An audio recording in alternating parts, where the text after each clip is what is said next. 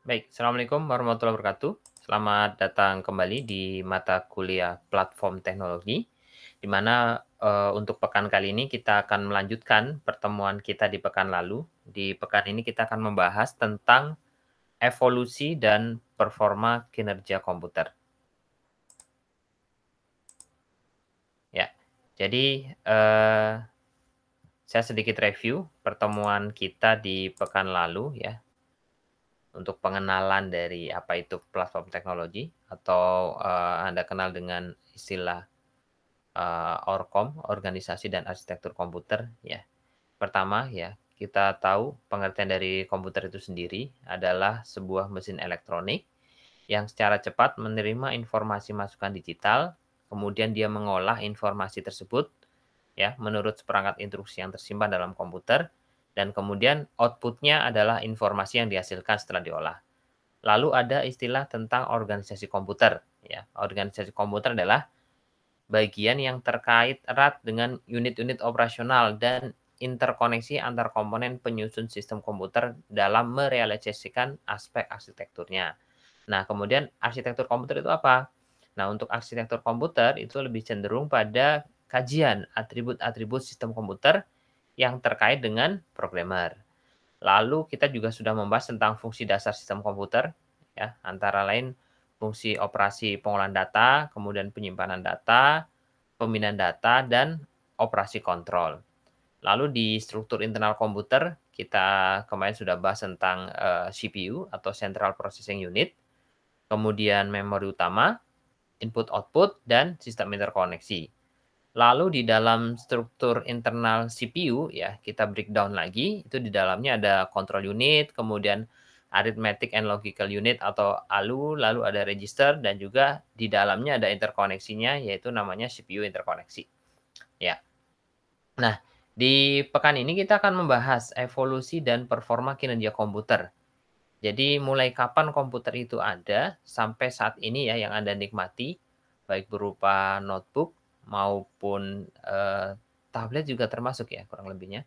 Lalu, uh, mobile device ya sekarang juga sudah memiliki prosesor, punya, uh, sistem operasi ya, ada input proses outputnya dan lain sebagainya. Nah, generasi awal komputer itu dimulai pada tahun 1940-an ya, di mana awal adanya komputer itu adalah ENIAC namanya.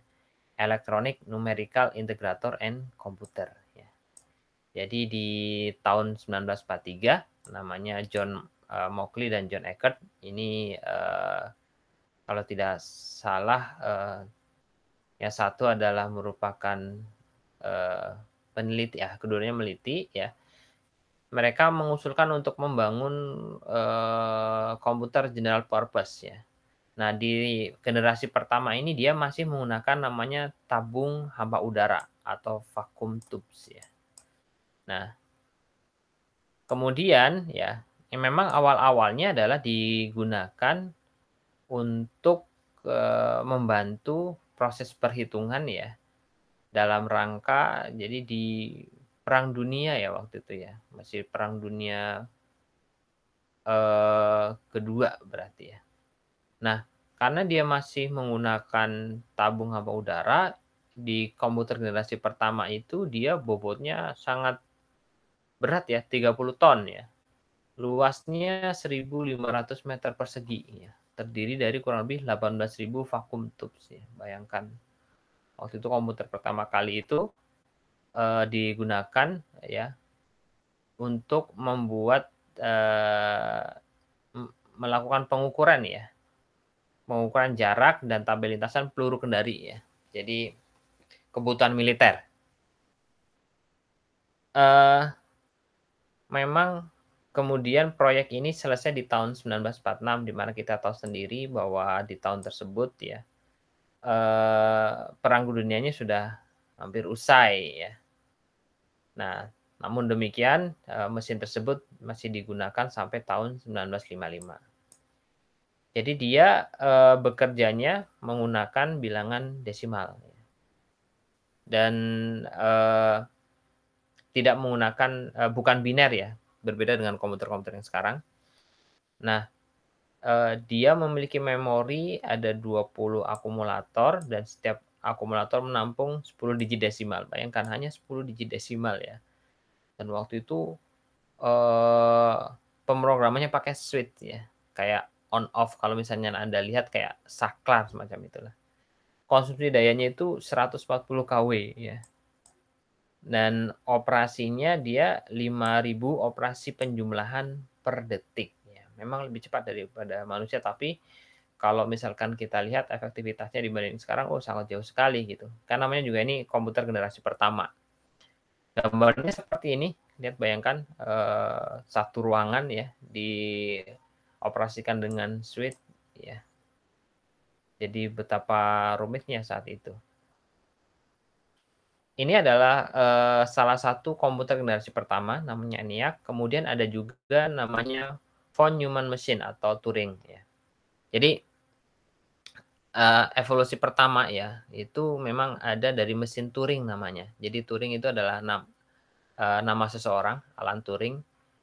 Kalau tidak salah ya uh, sudah ada filmnya ya saya lupa judulnya apa ya. Jadi Alan Turing ini dia uh, yang menemukan generasi pertama dari komputer lah kurang lebih seperti itu.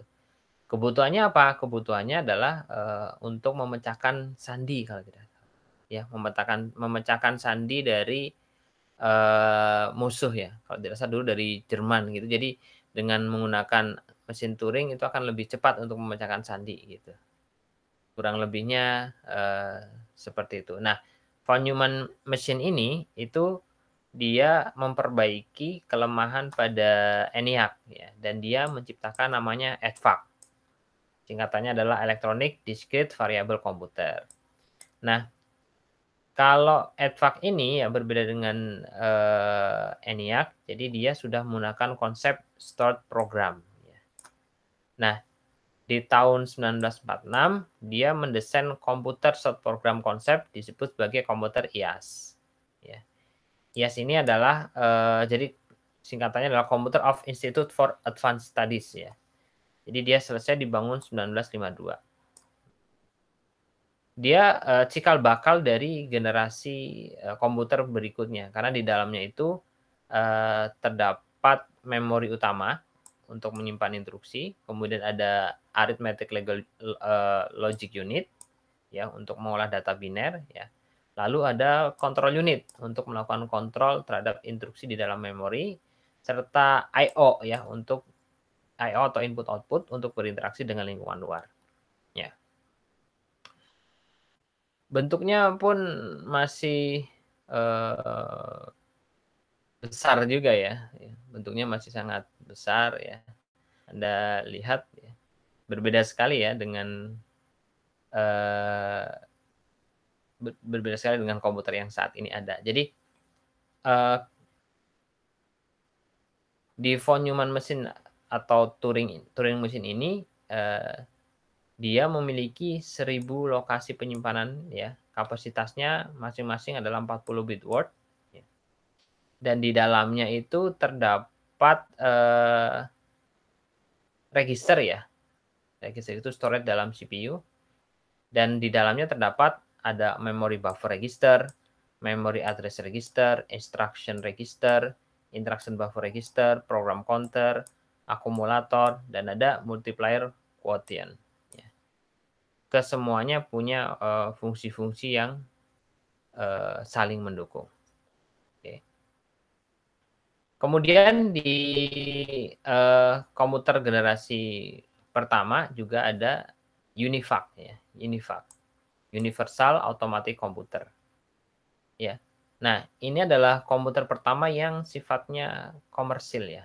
Jadi uh, salah satu yang digunakan adalah digunakan untuk penghitungan sensus, sensus ya, sensus penduduk di uh, Amerika. Nah, di di tahun peluncurannya ya, kurang lebih di tahun 1950 adalah bertepatan juga dengan munculnya dua buah perusahaan yang uh, mendominasi pasar. Namanya adalah Sperry dan IBM ya. IBM bahkan sudah sampai sekarang juga masih produktif ya. Lalu di tahun 1950 ya, Univac 2 dikeluarkan ya dengan lebih cepat, memorinya lebih besar. Lalu di 1953 IBM memproduksi stored program komputer ya namanya IBM seri 701. Dia punya kemampuan untuk kalkulasi saintifik ya. Lalu eh, kelanjutannya dari seri 701 ada seri 702 itu dipasarkan di tahun 1955 ya dia memiliki kemampuan untuk uh, membantu aplikasi bisnis. Ya. Lalu kemudian dilanjutkan juga di seri 700 dan 7000. Ya. Kalau Anda lihat, nih ya, uh, komputernya ya, sangat besar sekali ya, terdiri dari berbagai macam uh, komponen ya, sentral komputernya, Eh, kemudian uh, proses perhitungannya dan lain sebagainya. Ya. Lalu kita lanjut ke komputer generasi kedua.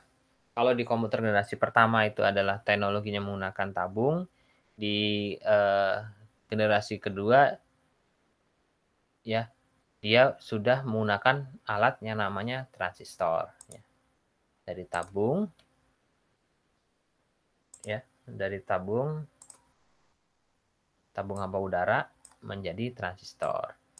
Kelebihannya ya, kalau transistor ukurannya lebih kecil dan bobotnya lebih ringan pada saat itu ya. Jangan bandingkan dengan sekarang ya. Kemudian dayanya juga lebih rendah. Nah, eh, sebenarnya transistor itu ditemukan oleh William Shockley ya pada tahun 1947. Nah, series komputer yang berbasis transistor yaitu eh, diproduksi ya oleh IBM ya. Di IBM dia meluncurkan seri 7000 tadi sudah kita bahas sebelumnya. Dan DSC ada namanya DEC perusahaannya memproduksi PDP-1 ya. Kurang lebih eh, konfigurasinya eh, seperti terlihat ada CPU kemudian multiplexer ada memori ya. Kemudian ada namanya data channel. Tapi kalau bentuknya kita lihat sih masih lumayan cukup besar juga sih sebetulnya. Nah, eh, kemudian dilanjut dengan komputer generasi ketiga ya. Di komputer generasi ketiga ya, kalau tadi di pertama ada tabung, kemudian generasi kedua menggunakan transistor, generasi ketiga dia sudah menggunakan IC atau integrated circuit ya. Jadi IC dia merupakan kumpulan dari transistor-transistor ya. Dia dipadukan transistornya dalam satu chip tunggal. Nah, seri-series yang keluar di generasi ketiga antara lain ada IBM seri 360 ya. Dia diluncurkan tahun 64 ya. Dan eh, di series ini IBM mengalami eh, pertambahan kecepatan ya dan juga dia memiliki ukuran memori yang lebih besar. Nah, nanti kalau semakin tinggi modelnya, maka kemudian memorinya juga akan tinggi juga ya. Harganya juga akan lebih tinggi. Kalau Anda lihat juga bentuknya masih masih cukup besar juga ya sebetulnya dibandingkan dengan komputer-komputer yang ada saat ini. Gitu. Ya. Kemudian di DEC, DEC mengeluarkan PDP 8 ya. Ini adalah mini komputer pertama kali ya. Mini artinya sebutannya sih mini ya, tapi sebutnya uh, masih lumayan besar juga ya kalau kita lihat. Ya. Dan uh, kalau yang sebelum-sebelumnya dia butuh uh, ruangan ber-AC, kalau yang PDP 8 ini uh, sudah tidak memerlukan lagi. Dia arsitekturnya berbeda ya uh, arsitekturnya dia menggunakan namanya omnibus. Ya. ya, dia terdiri dari 96 buah lintasan sinyal dan digunakan untuk membawa sinyal-sinyal kontrol, alamat maupun data. Nah, arsitektur bus ini juga yang kemudian diambil di komputer-komputer uh, saat ini atau komputer modern. Lalu ada komputer uh, komputer generasi selanjutnya ya, komputer generasi selanjutnya maksudnya adalah generasi keempat dan juga generasi kelima ya itu eh, ada perubahan yang signifikan ya bahwa di generasi selanjutnya itu IC ini kemudian uh, dibuatkan namanya prosesor, ada kontrol unit dan lalu. Jadi uh, IC ini yang integrated circuit ini kemudian dimanfaatkan juga untuk pembuatan memori namanya memori semikonduktor. Jadi di tahun 70 itu ada uh, produksi memori semikonduktor pertama ya, kapasitasnya 256 bit ya. Uh, kemudian IC-IC ini itu ya pada generasi komputer keempat merupakan integrasi chip yang luar biasa uh, mulai dari LSI, VLSI, bahkan kalau sekarang namanya ULSI. Jadi saya ceritakan sedikit bahwa di sini ya uh, dikatakan bahwa kapasitas memori semikonduktor itu meningkat rata-rata dua kali setiap tahun. Nah, LSI, VLSI, ULSI ini adalah uh, sebutan ya untuk berapa sih jumlah komponen yang bisa tercakup dalam sebuah chip. Kalau Anda kenal sekarang uh, prosesor ya mungkin ya. Jadi kalau LSI itu LSI adalah namanya large scale integration ya. Dia mampu memuat ratusan komponen kalau yang large scale integration. Lalu di tahun 80-an ya itu ada VLSI ya, 80. VLSI itu very large scale integration. Kalau yang tadi LSI itu adalah ratusan, kalau yang VLSI dia ribuan. Nah, kalau yang sekarang dia sudah ULSI ya atau ultra large scale integration. Jadi jutaan komponen. Jadi sebetulnya dalam sebuah CPU itu di dalamnya ya ada eh, jutaan komponen. Bayangkan yang dulu ya, eh, tadi kita ceritakan di generasi pertama butuh berapa? 18.000 tabung gitu ya. Jadi itu uh, butuh space. Nah, kalau sekarang setelah dikembangkan ada transistor, terus dari transistor berkembang menjadi IC, di IC-IC tersebut ini kemudian jadi uh, uh, semikonduktor ya. Jadi chip ya, jadi satu buah chip gitu. Sehingga kemudian ukuran menjadi lebih uh, compact atau lebih portable. Nah, di tahun 71 Intel memproduksi komputer dengan prosesor ukuran mikro ya. Atau kita kenal dengan istilah mikroprosesor. Serinya adalah 4004. Kemudian di 72 dia mengembangkan seri 8008. Nah, uh, Intel pertama kali ya mengembangkan di 1974 series 8080 itu uh, cikal bakal pertama mikroprosesornya dari Intel. Ya. Ini adalah kurang lebih uh, rangkumannya ya, rangkumannya dari generasi komputer ya. Jadi kalau boleh kita besarkan, pertama jadi generasi pertama dari tahun 1940 sampai 1956 itu berbasis vak, uh, tabung vakum. Kemudian di generasi kedua tahun 56 sampai 63 itu ada uh, transistor ya, penggunaan transistor generasi ketiga dia menggunakan uh, sirkuit ya atau IC. Lalu di generasi keempat tahun 71 sampai 80 dia menggunakan very large scale integrated circuit ya. Very large scale ya. Jadi kalau very large scale integrated itu uh, tadi memuat dalam satu chip itu bisa memuat ribuan. Nah, generasi kelima jadi tahun 80 sampai sekarang dia menggunakan ULSI atau Ultra Large Scale Integration. Ya, jadi dalam satu chip dia bisa memuat sampai jutaan komponen. Ya. Nah, secara uh, mohon maaf.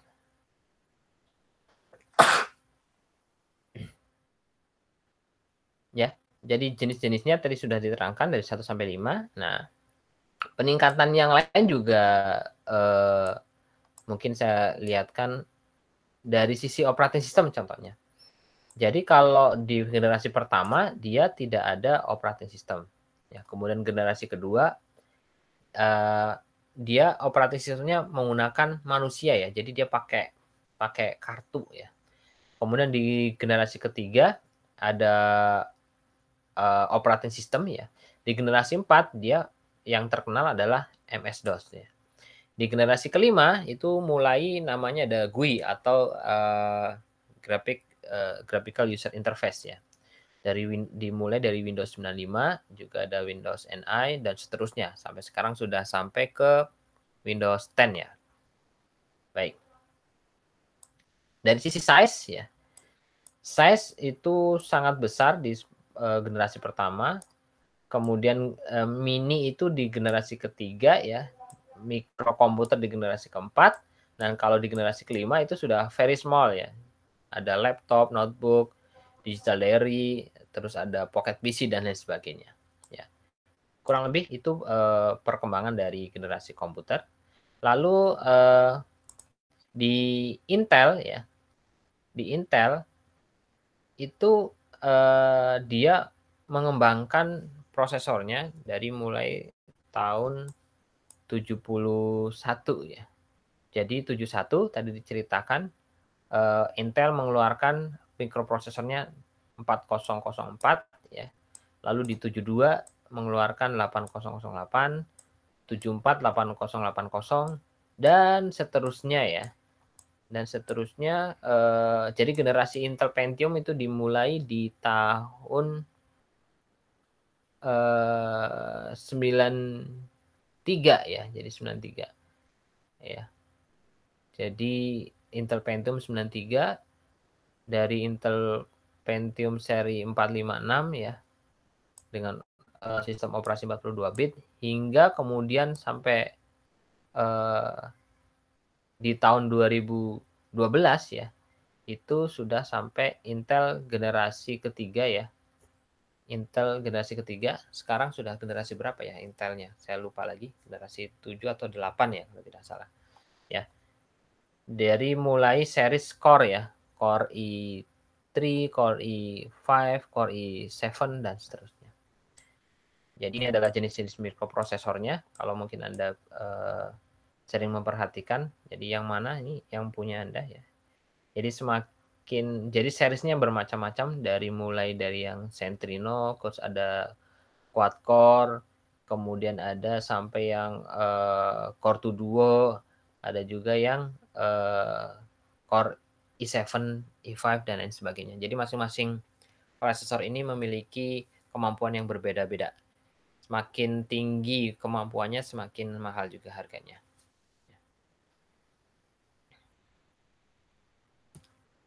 Nah, ini adalah kemudian ini adalah perkembangan dari uh, prosesor Intel ya. Jadi tadi diceritakan ada namanya hukum Morse ya.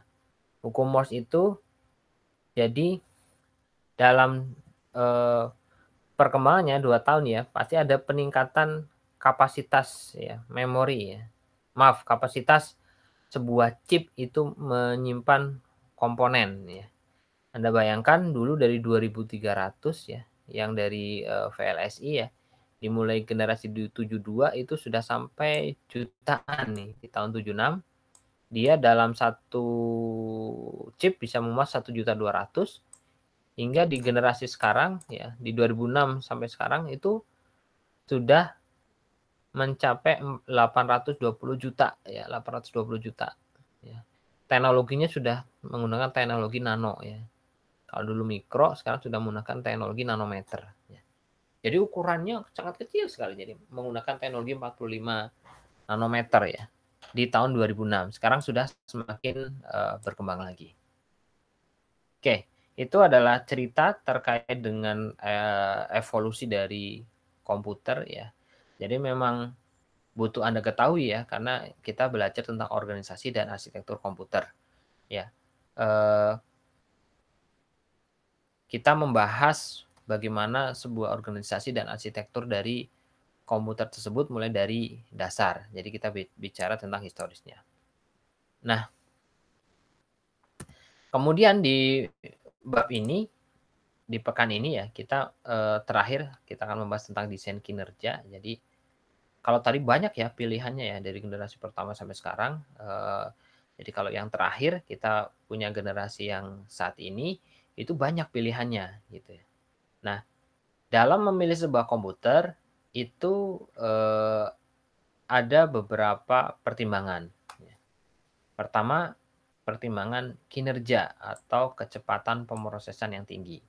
Kemudian bagaimana kapasitas memorinya, lalu bagaimana ketika kita menciptakan keduanya di atas ya kinerja dan kecepatan tinggi, kapasitas memori besar, tapi biayanya murah. Ya. Nah, maka oleh karenanya itu perlu eh, dalam pendesainan ya, dalam pendesainan arsitektur komputer perlu kemudian eh, beberapa metode atau cara ya untuk kemudian meningkatkan performa atau kecepatan pemrosesan uh, di dalam komputer tersebut. Ya. Karena di apalagi di komputer modern itu uh, dia lebih kompleks ya. Jadi spesifikasinya itu harus sesuai kebutuhan ya. Contohnya adalah bagaimana teknologi komponen penyusunnya, kapasitas penyimpanannya, kinerjanya, dan biaya perangkatnya, dan sebagainya. Nah, ini ada beberapa cara untuk melakukan peningkatan performa ya. Uh, kita sebutkan dulu. Yang uh, pertama adalah pipelining, ada onboard cache, ada onboard L1 and L2 cache, kemudian branch prediction, data flow analysis, sama uh, dan yang terakhir adalah speculative execution.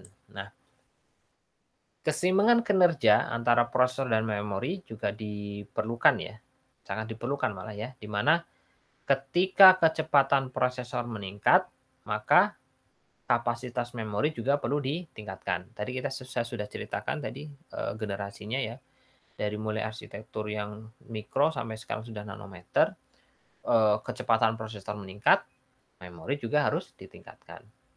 Nah, tapi ada celah ya, ada celah yang namanya kecepatan. Ya, kecepatan itu berbeda dengan kapasitas ya. Jadi kecepatan di memori itu jauh lebih rendah dibandingkan dengan kecepatan prosesor. Nah, nanti kita akan eh, bahas di pertemuan-pertemuan berikutnya tentang eh, beberapa hal yang tadi saya sebutkan ya, eh, peningkatan performa dan lain sebagainya bagaimana kemudian kita mensiasati uh, bukan kita ya mungkin kita bagaimana kita mempelajari para uh, pembuat teknologi itu mensiasati agar kebutuhan uh, user terpenuhi ya. Jadi meningkatkan kapasitas prosesor dan kemudian kapasitas memori tapi mensinkronkan juga kemudian uh, speed atau kecepatannya Demikian yang bisa saya sampaikan untuk pertemuan kali ini. Di pertemuan depan kita akan uh, membahas tentang representasi data komputer bagian pertama. Dari saya, eh, saya akhiri dan mohon maaf apabila dalam penyampaian terdapat eh, kekeliruan dan kekurangan. Bila taufiq walidayah. Assalamualaikum warahmatullahi wabarakatuh.